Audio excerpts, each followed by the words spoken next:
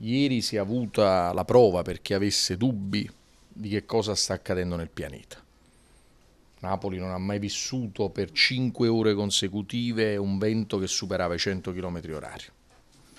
Con un cielo color giallo sembrava una tempesta nel deserto, quindi un terremoto atmosferico, un uragano, tempesta, cioè scenari a cui questo paese, questa città non erano abituati.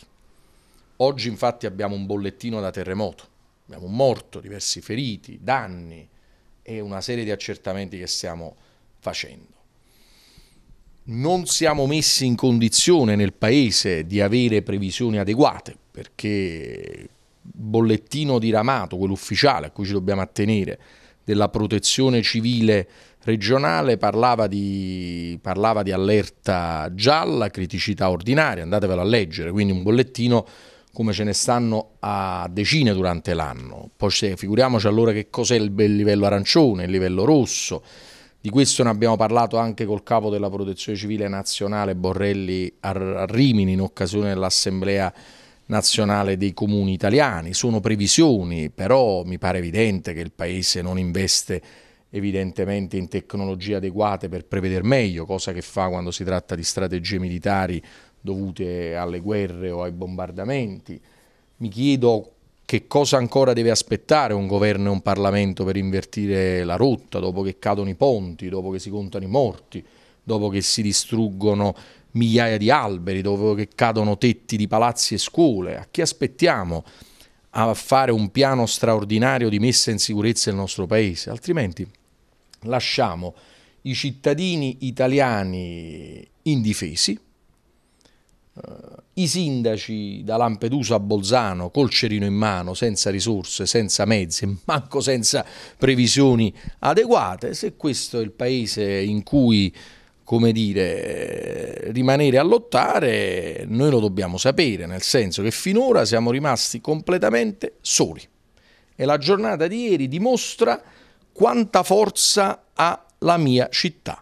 Quindi io voglio esprimere il più forte apprezzamento e ringraziamento a tutte le donne e gli uomini del Comune di Napoli, di tutte le istituzioni, di tutte le partecipate che hanno fatto un lavoro enorme. Intere strade che erano bloccate, intere situazioni di pericolo immediatamente risolte e stanno lavorando tantissimo, senza possibilità di ottenere il pagamento di straordinari perché le leggi e i governi non ce lo consentono, senza mezzi, senza risorse, eppure con l'amore della propria città, l'amore per i propri concittadini e l'amore per se stessi che di fronte a chi si gira dall'altra parte, come sinora è accaduto a livello nazionale, noi lottiamo. Allora l'appello che io faccio è questo. La situazione è nota. Ne abbiamo discusso anche a Rimini. Il capo della Protezione Civile Nazionale ha eh, espresso apprezzamento per le mie e per le nostre posizioni. Sinora i governi nel corso degli anni, degli ultimi decenni, di tutte le appartenenze politiche non hanno affrontato in maniera adeguata questa uh, situazione. Adesso stiamo a un punto, secondo me, di non ritorno.